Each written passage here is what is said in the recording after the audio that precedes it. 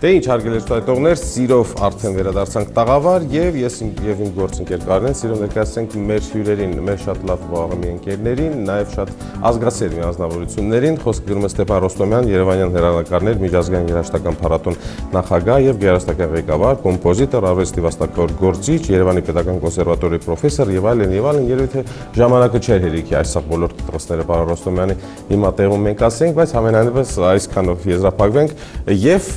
եւ Սոնա Հովանեսյան նույն փառատոնի, այսինքն Երևան Երևանյան հերանեկարներ միջազգային երաժշտական փառատոնի գլխավոր մենեջեր։ Ողջույն։ Ողջույն, ինչպե՞ս եք։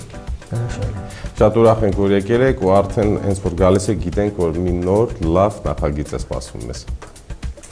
Որը որ տեղի կունենա ապրիլի 3-ին։ Նախագիծի մասին թող խոսի Սոնան, Սոնան։ Շնորհակալություն։ Առաջին խոսափող Սոնա Հովանեսյան։ Մենք այս տարի փառատոնի բացումը ակնկալում ենք անել ապրիլի 3-ին Տոկիո Լարային Քարյակի համերգով։ Մի քանի բառ ասեմ Տոկիոյի մասին։ Դա աշխարհի լավագույն մի քանի քարյակներից մեկն է։ Իրենց այդպես տիտղոսը համարվում է, ասում են Supreme Chamberlain-ը, այսինքն լավագույն կամերային խումբ ընդհանրապես աշխարհի, որպես կամերային խումբ ինքը համարվում է լավագույնը։ Եվ իրենց որպես լավագույն այդ տիտղոսակիր հանձնել են նվագելու արդեն 25 տարի է, ինչ իրենք նվագում են 4 Stradivari գործիքներով, որոնք որ պատմության մեջ հայտնի են Stradivari Քարյակ անունով։ Ինչու որովհետև Paganini Քարյակ անունով, ինչու որովհետև Նիկոլո Պագանինին է այդ 4 գործիքները իրեն սեփականություն որպես ունեցել եւ դրանցով նվագել։ Այնուհետև Վաշինգտոնի թանգարանից ճապոնական հիմնադրամը գնել էր այդ գործիքները եւ հանձնել Տոկիո Քարիակին։ Եվ մենք Երևանում շուտով տեսնելու ենք այդ գործիքները։ Այս գործիքների մեջ կա հենց այն գործիքը, որի լարերը սա հրթվեց եւ մի լարի վրա նվագեց։ Դրա մասին խոսեմ ես։ Այդ շատ հումոր է, շատ գեղեցիկ հումոր, բայց ասենք բերում է Հայաստան այն գործիքը, որը ժամանակին աշխարհչակ մեծագույն կոմպոզիտոր Բերլիոզին Պագանինի պատվիրեց գրվի գործ ալտի համար կոչում էր Հարոլդը Իտալիայից։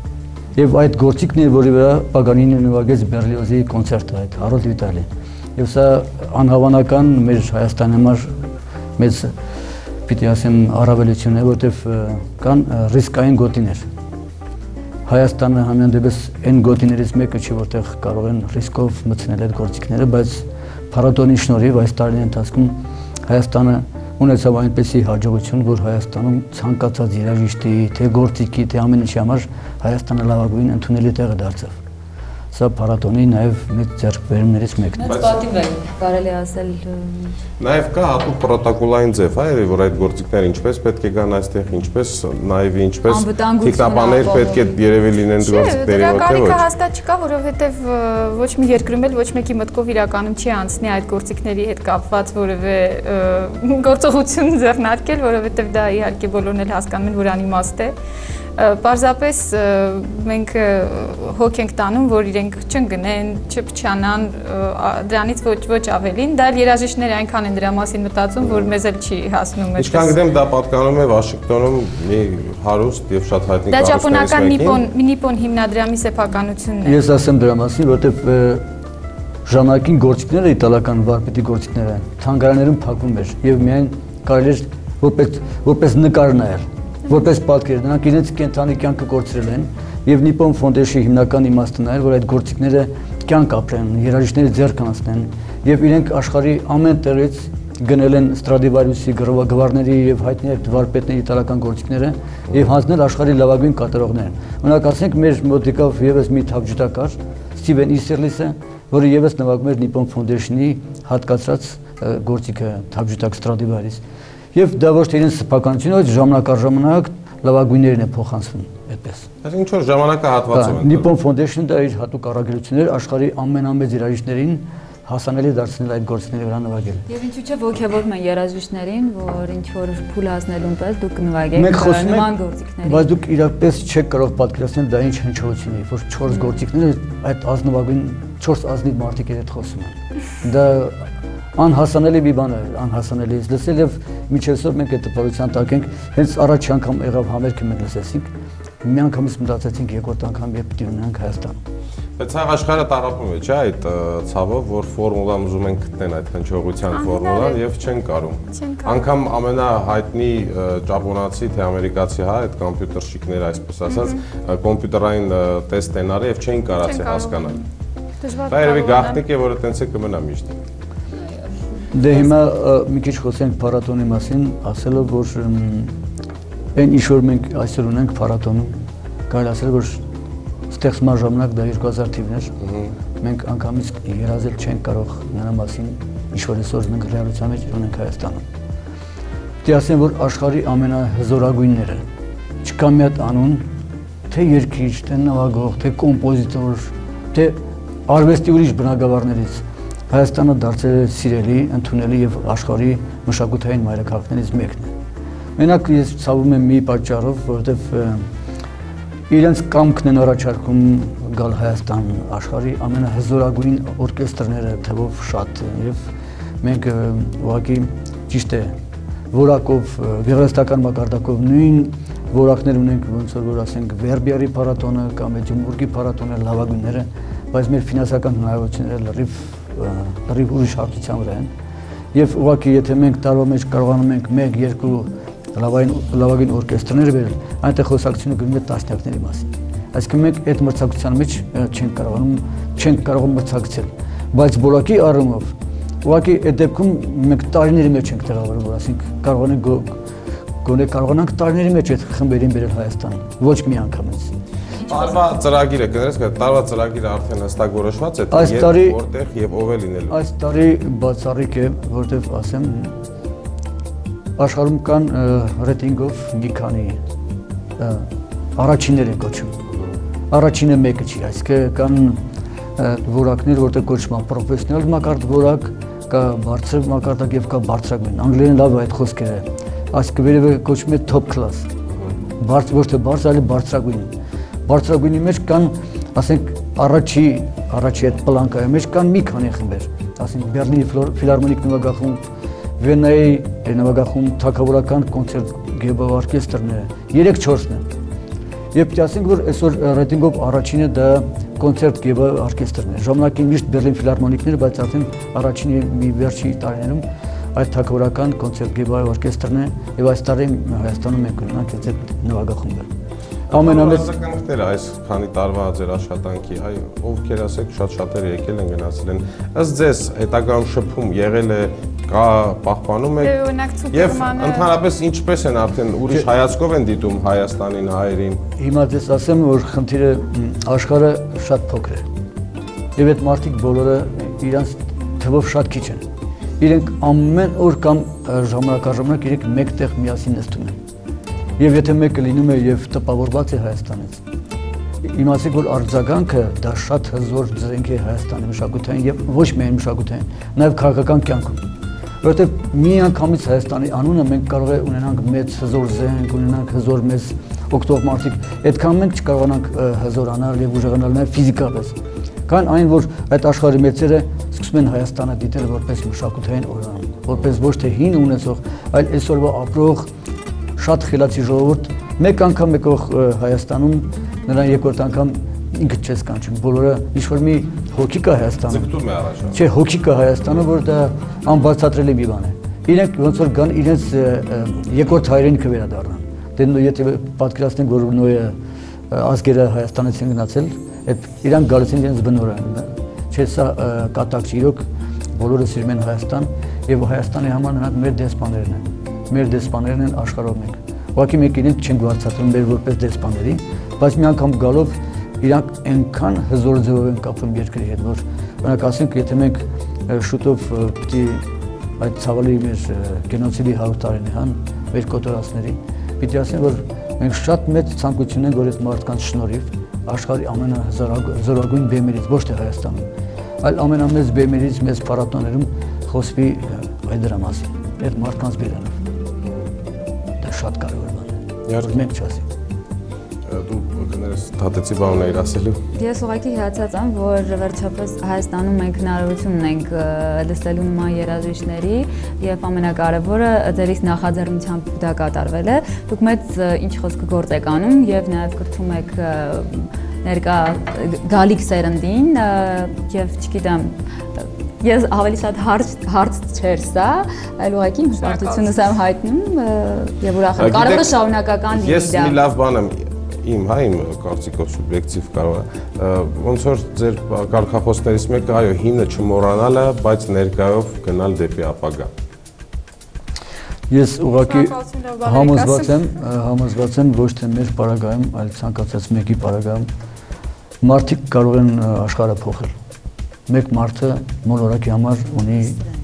ահռետ շատ շատ եմ ասում ահռելի բայց դա իրոք դա իրականություն է Ստիվ Ջոբսը կոմպյուտերային աշխարհում մենակ փոխեց հոգեբանությունը, բոլոր հոգեբանությունը։ Եվ այդպես Ստիվի Ջոբսի հոգեբանության տեր մարդիկ շատ են պետք այս մոլորակին։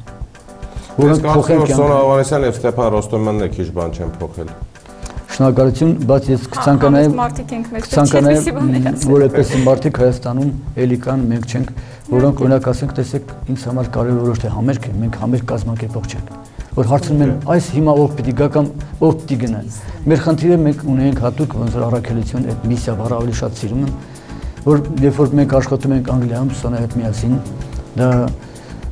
97 թվականն էր եւ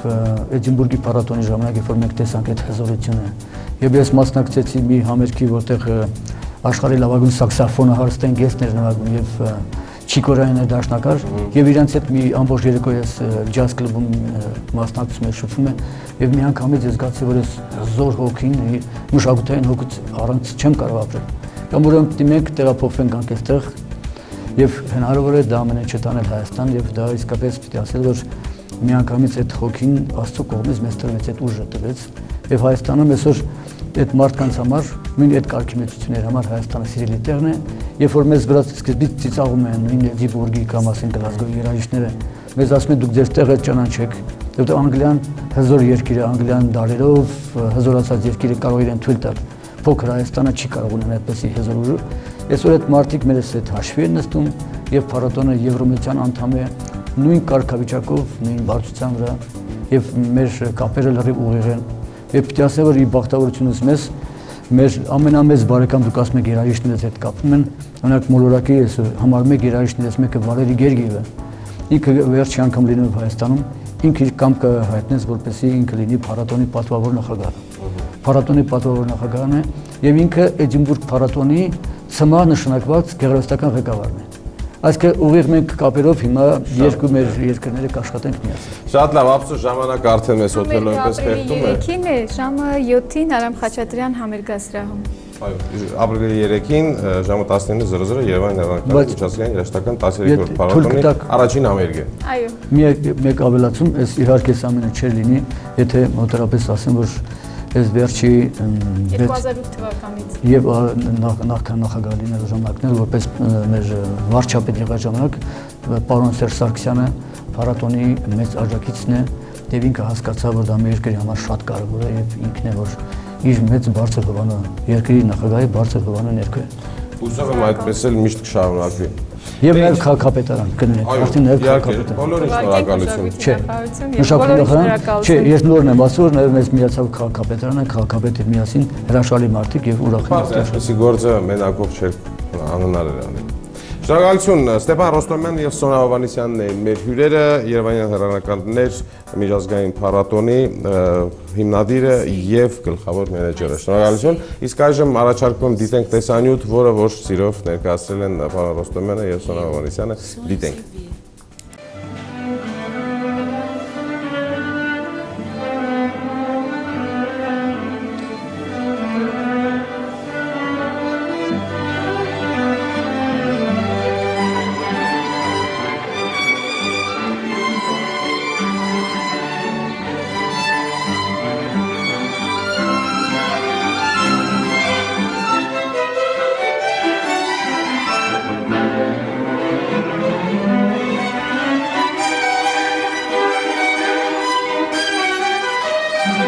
Música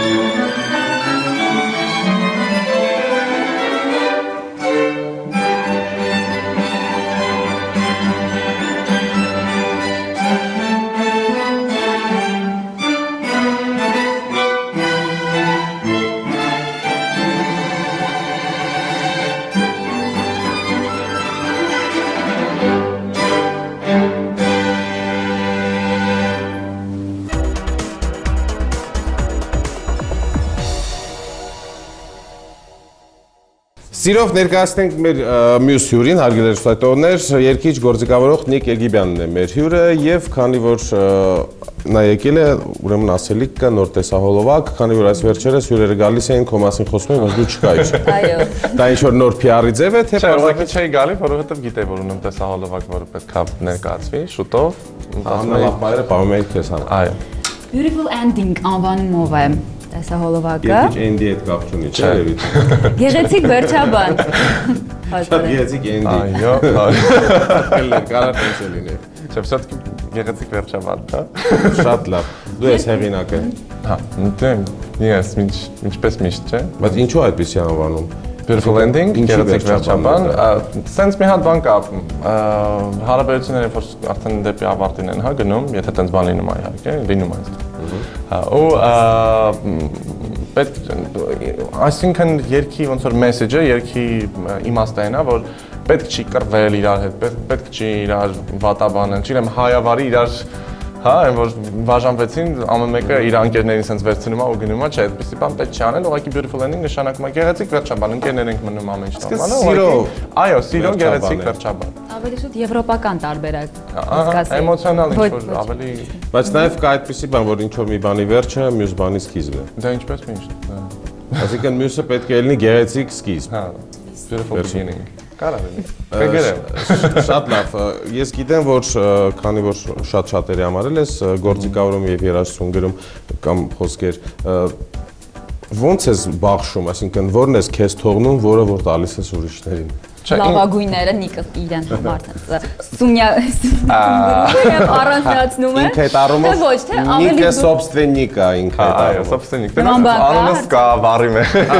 Չէ, ը, չեմ ուզում ասեմ կա նման բան, որովհետև կան մարդիկ, ով ը, կարող է գալ ինձ մոտ, ասենք, CD-ի մեջ լսելով ինչ եմ իրար, կարող է գալ ինձ մոտ, ասի, Նիկ ջան, դուրս եկել այս երգը կարելի է կատարեմ, ու ես այդ երգը տամ իրան։ Նույն ը,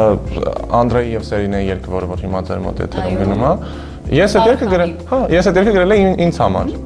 ինձ ինձ համար է գրված եղել, ես CD-ի համար է գրված եղել, բայց երբ Սերինեն լսեց այդ երգը, հավան է շատ դուր եկավ, տվեցի Սերինեին։ Քեշտովը ձերտը վառեցիք լավ։ Կան երգեր, որոնք որ չեմ տա, այոնակ Beautiful Ending-ը, այն երգերը, որոնք որ տեսահոլովակ ունեն, դրանք այդ այն երգերն են, որոնք որ պետք է ունենան տեսահոլովակ եւ հնչեն միայն քո Այո, կատարումով Իսկ ի՞նչն է դժվար քեզ համար, երգ գրելը թե այդ երգը կատարելը։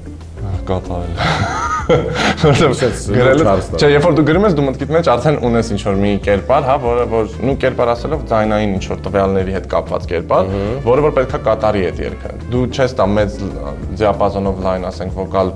հնարավորություններ պահանջող երգը, տաս ինչ որ մի ինձ մարդը, որը որ չի կարող դա կատարի, հա։ Ու երբ որ ստացվում անես, որ դու քո համար ես գրում, դու արդեն սկսում ես հարմարել այդ երգը քեզ, ինչը այդքան էլ հաճելի չի, որովհետև դու գիտես քո մինուսները վոկալի, դու գիտես քո պլյուսները վոկալի, ու դու արդեն կամած-կամած պետք է հասկանաս ինչը կարող ես երգել, ինչը չէ։ Դրա համար եթե ես զգում եմ, որ դուժվում է երգը, այդ դեպքում այդ երգը տալիս եմ ինձ մարդու, որ կարա այդ երգը ավելի լավ կատարի։ Այսինքն կատարելն է դժվար Այո։ գործը գրելը, ըստ քեզ։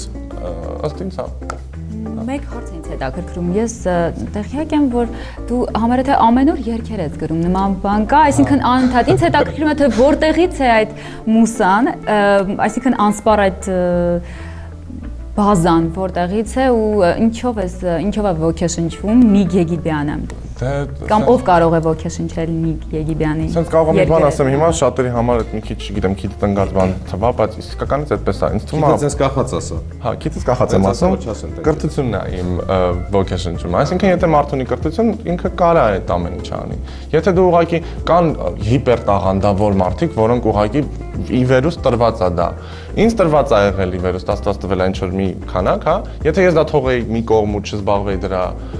էվոլյուցիայով, սենց ասեմ, տենց էլ կմնայի միջակ ինչ որ երաժիշտ, հա։ Իսկ կարծում եմ սենց մի բան կա, եթե հա ունես ոգեշնչվածություն, հա, եթե եթե տենց գալիս է քեզ, նստում ես այդ երգը գրում ես, դա կարող է լինի 5 րոպեում դու գրես մի հատ շատ շատ շատ գեղեցիկ երգ։ Բայց երբ ունես այդ այդ հնարավորությունը կրթության հետ մեկտեղ համատեղելու դա, այդ ամեն ինչ ավելի եւ արագալինում եւ որակովալինում եւ կարողանում ես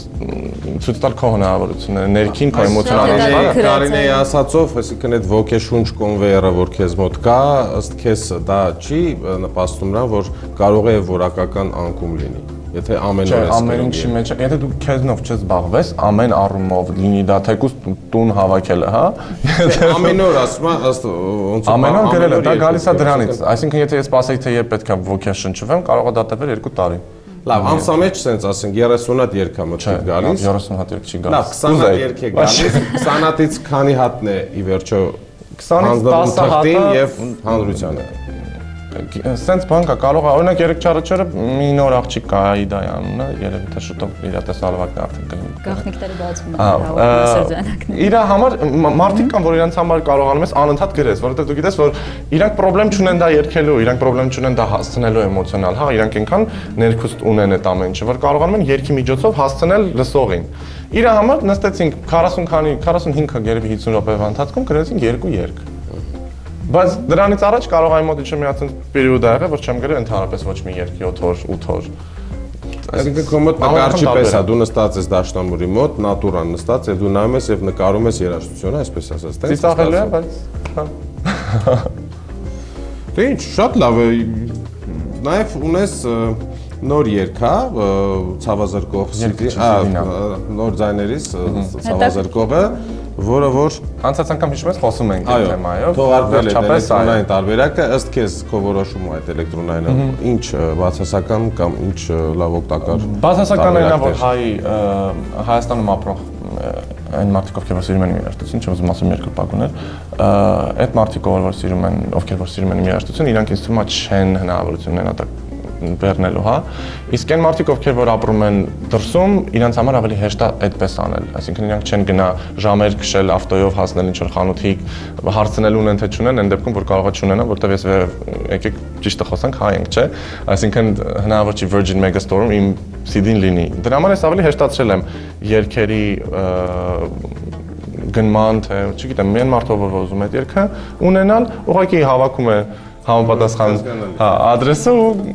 ներբեռնում է այդ ամեն ինչը։ Իսկ Հայաստանի համար կլինի ֆիզիկական տարբերակը CD, բայց կլինի մի երկու ամսվա ընթացքում, որտեղ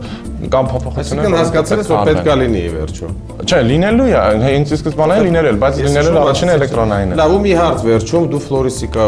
երբևիցե որոշել ես զբաղվես կամ ուզեցել ես։ Այդ ինչի՞ դրանց։ Ինչ եմ ասում, որովհետև քո մոտ ամեն օր մուզա է գալիս։ Ես առաջարկում նոր ծաղիկի տեսակ աճացնես, մի մուզա, մի մոզայի տեղ է անընդհատ երկեր գրես։ Չգիտեմ, ֆլորիստիկայի նկատմամբ տենց թուրություն չեմ ունեցել իրականում, Բայց մի մուզան լավ գեղեցիկ անուն կլինի։ որ ասեմ, չգիտեմ էլ այդ որ ծաղիկն է։ Ես ասեմ Արտուրը շատ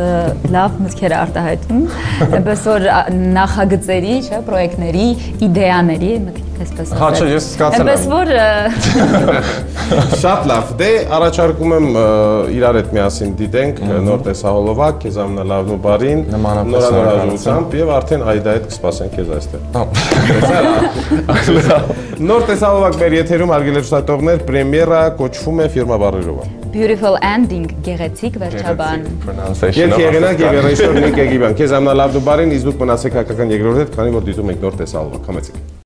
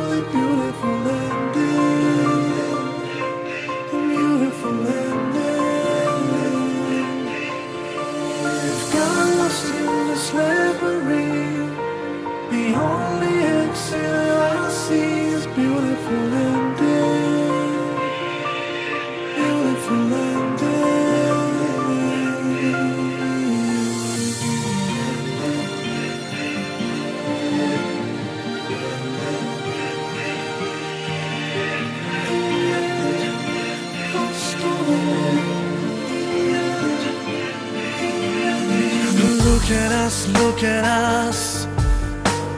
chasing dreams, perfect lies. Yeah, pretend to not be scared at all. Mm. Now watch us fall, watch us fall. We think we don't do mistakes, cause we didn't learn from man.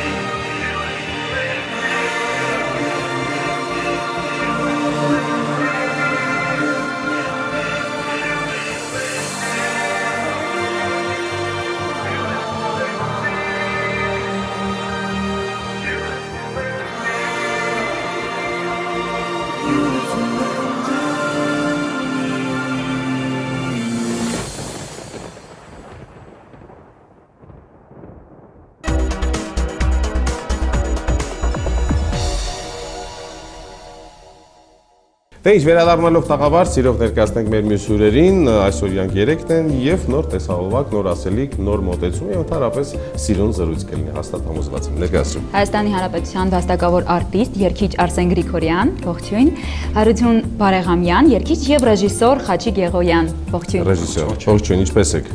Շատ լավ։ Ես ասեմ արդեն շատ շատերին པարզ է թե դուք ինչու եք եկել, ես էլ ներկայ եմ եղել պրեզենտացիային տեսահոլովակի, շատ գեղեցիկ տեսահոլովակ, լավ մոտեցում, որի մասին կուզենայինք խոսենք, նաև քեզ շնորհավորում ենք, որ դու պատվով ծառայեցիր մեր հայոց բանակում եւ վերադարձար։ Արսեն սերժանտի կարգախոսության։ Շատ լավ, Արսեն ջան, թերևս երևի դու ասես, քանի որ երկար պատմություն ունի այս տեսահոլովակը։ Իհարկե, իհարկե ու ոչ թե միայն տեսահոլովակը, այլ մեր աշխատանքը Հարութի հետ սկսել է 2004 թվականից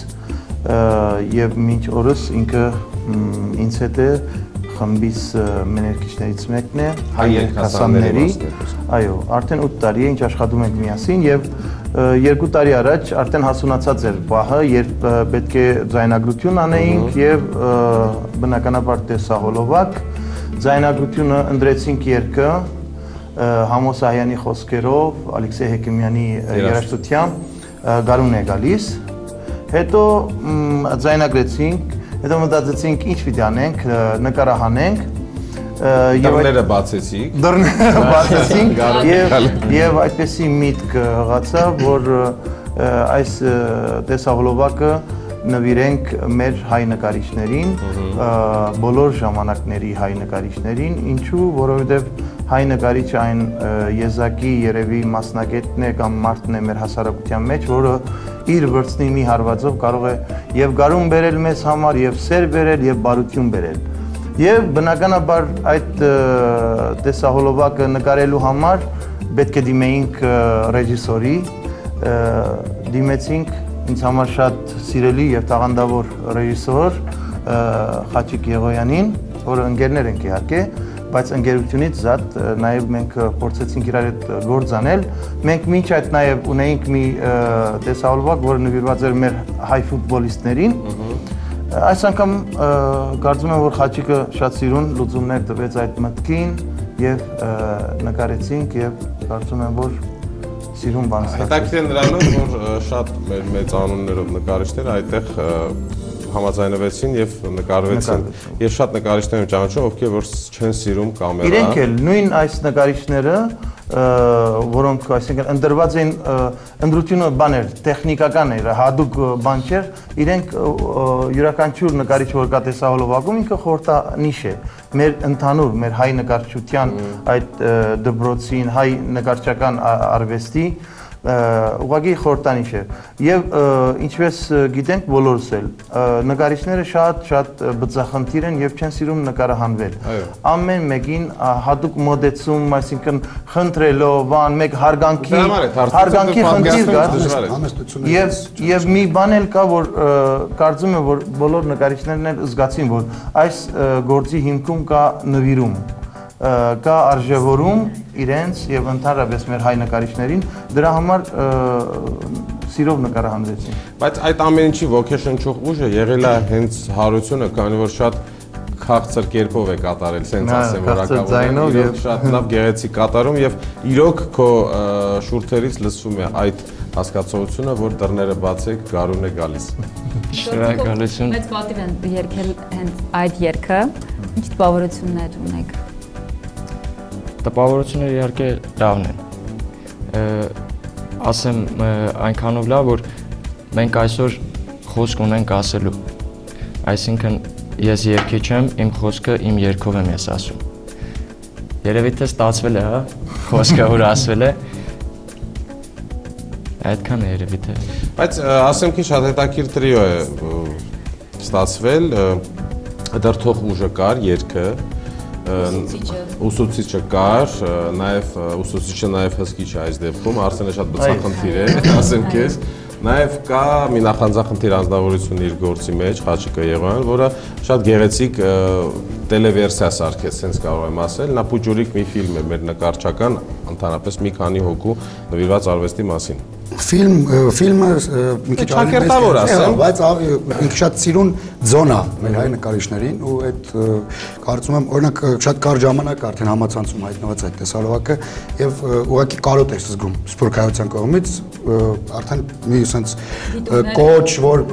հերոստատեսությամբ նենց չի որ ձեր մոտ ասում ենք որ հաշվի առնեք բայց իրոք կարող եք մտնել կարդալ որ անպայման այսպիսի բաներ շատ արեք արդեն օգնել ենք մնացած ուրիշ բաներից վերջապես մենք պետք է մենք շարունակական է լինելու մեր այս զոնի մտահղացումը, որովհետև համ Արսենի հետ համագործակցության ընթացքում նման բաներ արեցինք, համ առաջ ես շատ նման Խաչատուր Ավետիսյանն եմ անցյալ տարի Արնո Բաբաջանյան 90-ամյակին համեր գարեցինք, առաջիկայում ը, Վալյաս Անվելյանի 75-ամյակի կապակցությամբ ծրագրեր կան, Հեքիմյանի 85-ամյակի կապակցությամբ ծրագրեր կան, այսինքն Եթե մենք էլ չանենք ով անի, քիչ ենք մնացել։ Իսկ կարգախոս օգտենք մեզ, հիշենք մերը։ Դե չէ, քիչ արդեն իմանում։ ես ասեմ, ես ասեմ մի բան, որ միայն ասելով չէ նաև, այլ գործով պետք է ցույց տալ, թե ինչքանով քեզ համար արժեքավոր է քո կողքինը, ը, քո հասարակության զավակը, որը որ ինքը իր մասնագիտությամբ, իր արվեստով ինքը ծառայում է մեր ազգին եւ ինքը ժողովրդի կամ ազգի մշակույթը իր շարունակության մեջ է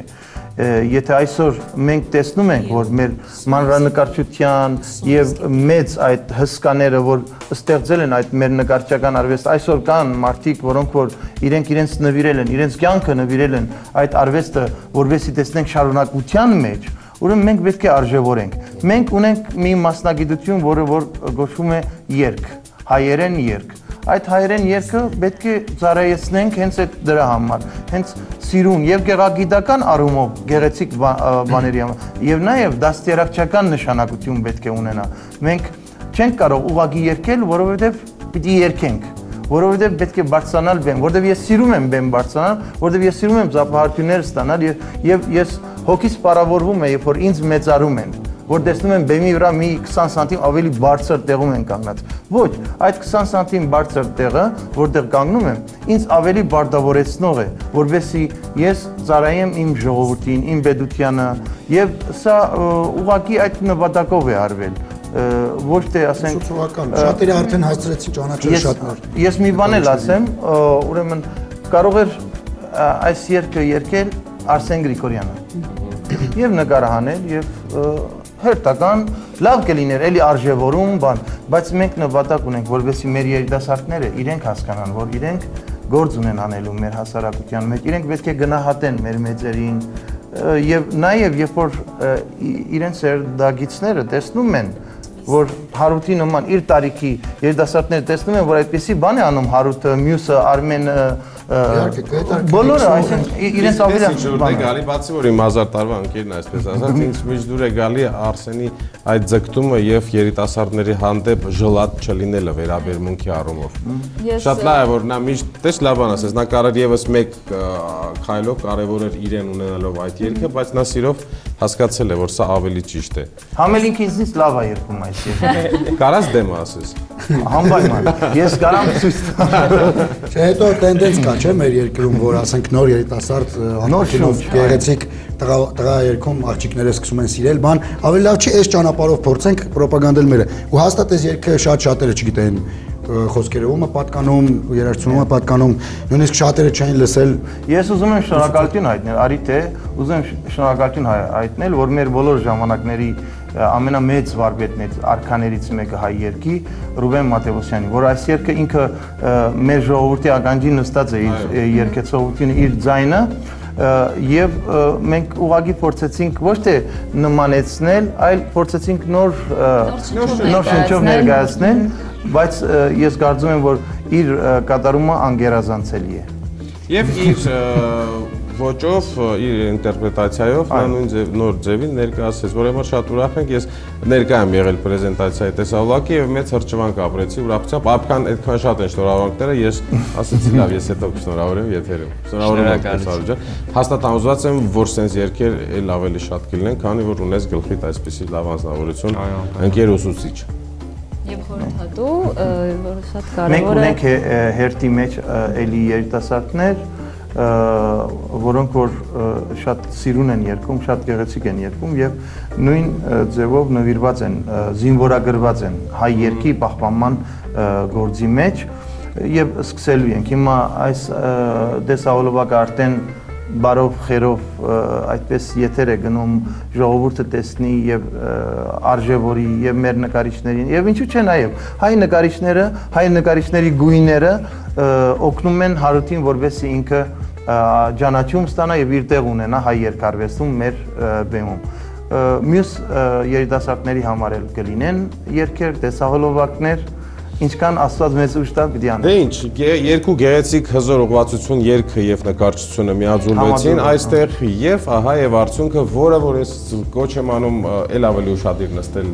ձեր տանը եւ դիտել հայկական երկրորդը, քանի որ հենց այս տեսահոլովակն է հիմա լինելու եթերում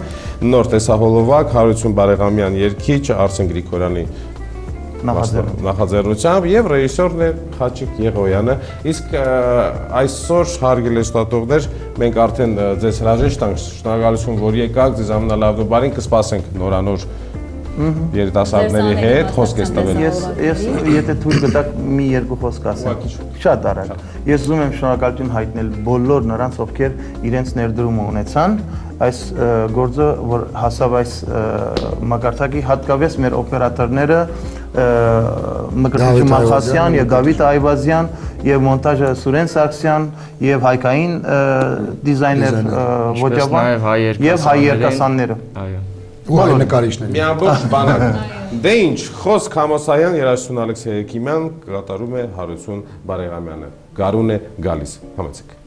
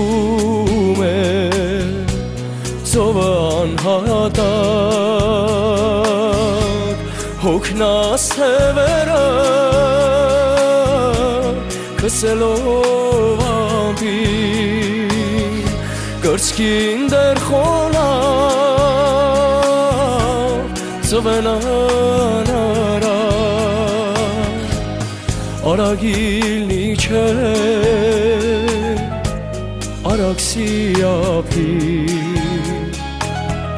հանգստանում է ոչքի վրա երկինք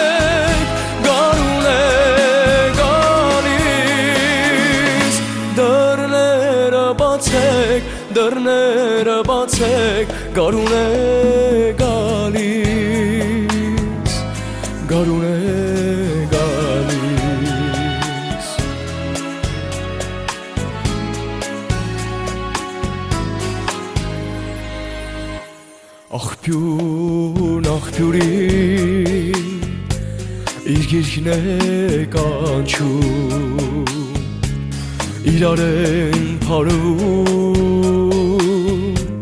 հովեն արտնացած ծաղկունքից արփած բնությունը շնչում քանդում է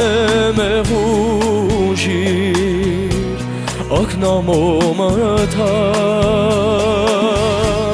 հողն է մայրության հրճվանքից տողում թող որ հավիտյան միշտ ազատ մնա թող որ ոչ մի ծիր չմնա հողում ոչ մի բույն հավքի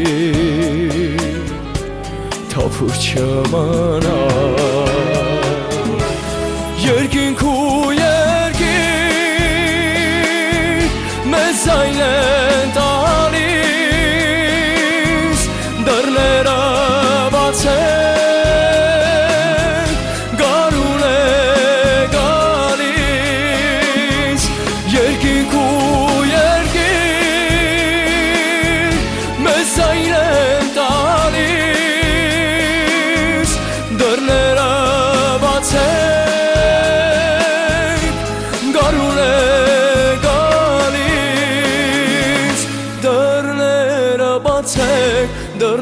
դռները բացեք գարուն է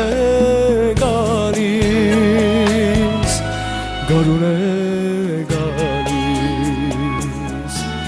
գարուն է գալիս գարուն է գալիս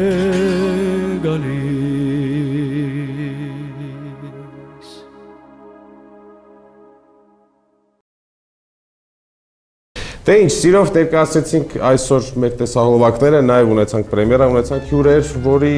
որոնց հետ ինձ թվում է շատ լավ գեղեցիկ մեղմիկ զրույց ունեցանք, շատ բաներ իմացանք։ Այո։ Եվ վերջում դիտեցինք ռեժիսոր Խաչիկ Եղոյան, խոսքի հեղինակ Համոսայան, երաժշտություն Ալեքսեյ Հեկիմյան կատարեց Հարություն Բարեղամյանը Գարուն է գալիս։ Իսկ իրոք Գարունը արդեն եկել է, մտել է իր ամբողջ լիովին իրավունքների մեջ։ Սպասենք ամրանը, ես կասեի ավելին։ Շնորհակալություն ձեզ, որ մնացիք մեզ հետ այս մեկ ժամը։ Եթերում ակորդն է ձեզ հետ են Կարինե Հակոբյանը։ Եվ Արտուր Հովանիսյանը։ Ձեզ երկար ու բարի հանգստյան օրեր կհանդիպենք։